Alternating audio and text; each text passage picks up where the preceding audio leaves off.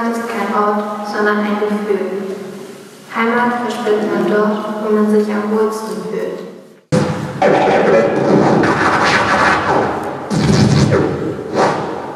Hier ist die Feuerpause offiziell. Es ist die zweite innerhalb von 24 Stunden.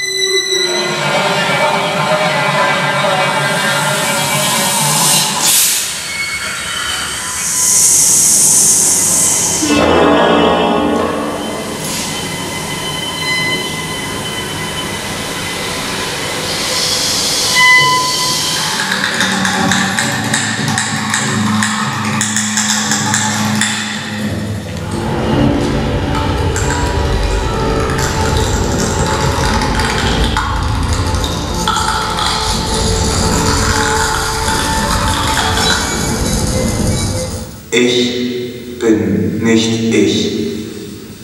Woanders.